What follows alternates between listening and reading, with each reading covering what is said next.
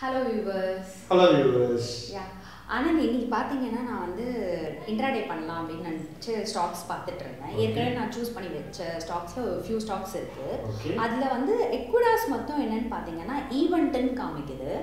நார்மலாக இன்னைக்கு பார்த்தீங்கன்னா நிஃப்டி பாசிட்டிவில் தான் இருக்குது ஓகே ஸோ நான் இது மட்டும் பார்த்தீங்கன்னா லோவில் இறங்கிட்டு இருக்கு. அண்ட் டெக்னிக்கல் அனாலிசிஸ் கம்பேர் பண்ணி பார்க்கறச்சு அதுவும் செல்லு தான் சொல்லுது. பட் நான் ஈவெண்ட்னா நார்மலாக வந்து போய் பார்ப்பேன் உள்ள என்ன ஈவெண்ட் அப்படின்னு சொல்லிட்டு? ஸோ இதில் பார்த்தீங்கன்னா அவங்க என்ன சொல்கிறாங்க அப்படின்னா கேஷ் டிவிடெண்ட் அப்படின்னு சொல்கிறாங்க. Interim dividend divided by share rupees ஒன்னு போட்டிருக்கு. ஸோ அப்படின்னா என்ன அதுக்கும் இதுக்கும் என்ன சம்மந்தம் ஃபர்ஸ்ட் ஒன்று புரிஞ்சுக்கோங்க எல்லா ஷேர் ப்ரைஸும் ஐ மீன் எந்த ஒரு கம்பெனியோட ஷேர் ப்ரைஸ் இருந்தாலும் இது நீங்கள் ஈக்விட்டாஸ் சொன்னீங்க. நியூஸ்னால நியூஸ்ங்கிறது வந்துட்டே இருக்கும். ஓகே. ஆனா எல்லா நியூஸும் ஷேர் ப்ரைஸ் அஃபெக்ட் பண்ணணும்னு அவசியம் கிடையாது.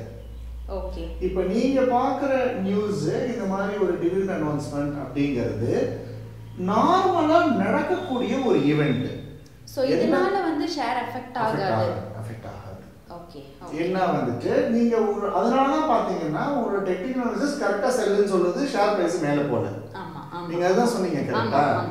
நியூஸ் அதுதான் நம்ம எப்பவுமே சொல்றோம் தெளிவா புரிஞ்சுக்கோங்க. டிவிடெண்ட் அப்படின்னா என்னன்னு பாத்தீங்கன்னா ஒரு பேங்க்ல போய் ஃபிக்ஸ்ட் டெபாசிட் போட்டோம்னா நமக்கு திருப்பி அதுக்கு இன்ட்ரெஸ்ட் கேரண்டீடா வரும். நம்ம பிரின்சிபலும் ப்ரொடெக்டட் ஆனா இந்த ஷேர் மார்க்கெட்ல பங்கு சந்தையில ஈக்விட்டி ஷேரை வாங்கி வைக்கிறவங்க கேஷ்ல வாங்கி வச்சாங்கன்னா அவங்களுக்கு அந்த கம்பெனி பண்ணக்கூடிய லாபம் ப்ராஃபிட்டை வச்சு கம்பெனி தரக்கூடிய ஒரு ரிட்டர்ன் இன்ட்ரெஸ்ட் மாதிரி கொடுக்கறதுக்கு பேர் தான் டிவிடெண்ட் அப்படின்னு பேரு. ஓகே ஆனா என்ன வித்தியாசம்னு பாத்தீங்கன்னா கம்பெனி லாபம் வந்துச்சு அப்படின்னு சொன்னாதான் இந்த டிவிடெண்ட் கொடுப்பாங்க. எவ்வளவு ரூபாய் டிவிடெண்ட் அப்படிங்கறதும் சொல்ல முடியாது. கொடுப்பாங்களா ஓகே அது வந்து அந்த கம்பெனியோட வந்துட்டு அந்த கம்பெனியோட முதலீட்டாளர்கள்லாம் சேர்ந்து ஏஜிஎம்னு சொல்லுவாங்க ஆனுவல் ஜெனரல் மீட்டிங்னு அந்த மீட்டிங்ல டிசைட் பண்றது தான் ஓகே ஓகே. அதனால ஒரு கம்பெனில நம்ம முதலீட்டாளரா போச்சு பணம் போடுறோம்னு சொன்னா நம்ம டிவிடெண்ட் எதிர்பார்த்து போனோம்னா கிடைக்குமான்னா அது கம்பெனியோட லாபத்தை புரிஞ்சுது ஓகே. இது ஹண்ட்ரட் பர்சன்ட் வந்து ஃபண்டமெண்டல் கான்செப்ட்ல இருந்து வந்தது. ஓகே ஸோ அதுக்கும் வந்துட்டு நம்ம ஷேர் ப்ரைஸ்க்கும் எந்த டிஃப்ரென்ஸும் இருக்காது.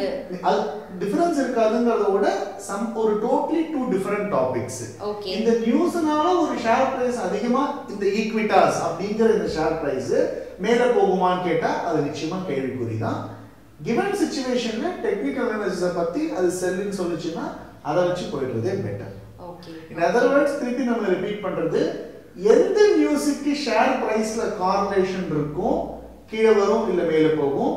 எந்த நியூஸுக்கு கார்லேஷன் இருக்காதுங்கிறத கிளியரா புரிஞ்சுக்கங்க. அது நீங்க சொல்றீங்க ஆனந்த் இப்போ ஒரு நியூஸ் வருது வந்த. உடனே இந்த நியூஸுக்கு தான் வந்து கார்லேஷன் இருக்கும். இந்த நியூஸுக்கு தான் கார்லேஷன் இருக்காதுன்னு எப்படி நம்ம தெரிஞ்சுக்கிறது? ரொம்ப டிஃபிகல்ட் கொஸ்டின் டு ஆன்சருங்க அது வந்து உங்களுக்கு ஒரு பீரியட் ஆஃப் டைம் தான் பழக்கமாகும். இது இன்ஸ்டன்ட்டா வந்து ஒரு காஃபி குடிக்கிற மாதிரி ஒரு கடையில போயிட்டு இந்த நாலேஜ் நம்ம கெயின் பண்ண முடியாது. நீங்க ஒவ்வொரு பீரியட் ஆஃப் டைம் அண்டர்ஸ்டாண்ட் பண்ணிப்பீங்க. நம்மளே சொல்லியிருக்கோம் ட்ரம்ப் வந்து ஸ்னீஸ் பண்ணா கூட இந்தியாவில் ஷேர் மார்க்கெட் கோல்டு பிடிக்கணும் அது என்ன சம்மந்தம்னா அதுக்கு ஆன்சரே இல்லைங்க. ஓகே ஸோ ஒரு பீரியட் ஆஃப் டைம் நீங்க ஸ்லோவா அதை கத்துப்பீங்க இன்னைக்கு தேதிக்கு அவங்க கொஸ்டின் ஆன்சர் பண்றதுக்கு இந்த நியூஸுக்கு ஷேர்ல எந்த இம்பாக்டும் கிடையாது. ஐ மீன் ஷேர் பிரைஸ்ல எந்த இம்பாக்டும் கிடையாது. ஓகே தேங்க்ஸ் ஃபார் வாட்சிங் யூஸ் தேங்க்யூ